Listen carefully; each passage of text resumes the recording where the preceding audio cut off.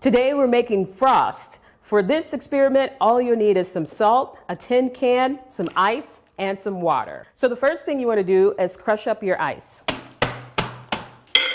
So now we're going to take a clean tin can and put in our ice.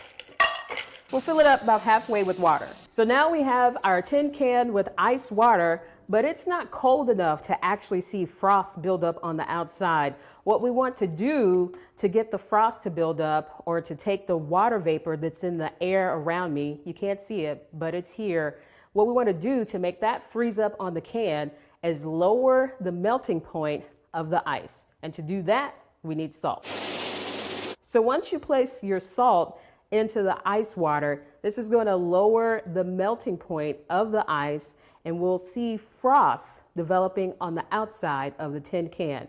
This may take a couple of minutes. Just like when you see frost on your windshield or on plants outside, we now have our frost on the outside of the tin can. This happens when the temperature and the dew point are both below freezing. The process is called deposition, but what we see is frost. Elissia Wilson, TMJ4 News.